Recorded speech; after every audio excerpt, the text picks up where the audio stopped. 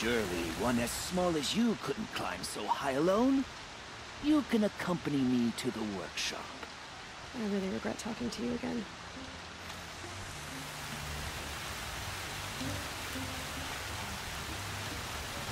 Surely one as small as you couldn't. I really regret talking to you again.